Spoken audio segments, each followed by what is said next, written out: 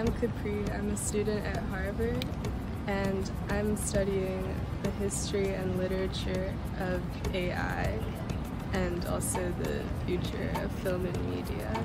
I'm here in Beijing for two weeks for a media internship and I hope to explore some interesting things while I'm here. Today I'm in Zhichen Park. We're in huge area where emperors during the Ming and Qing dynasty used to pray for a good sun for their harvest. Today is also probably a good day to pray for the sun. As you can see, it's been raining basically every day since we've been here. Yeah, it's raining harder, but another thing that we hope to explore was the ancient Chinese game of Go, which some people are playing in the park. It's a complicated game with a simple premise surround more territory than your opponent.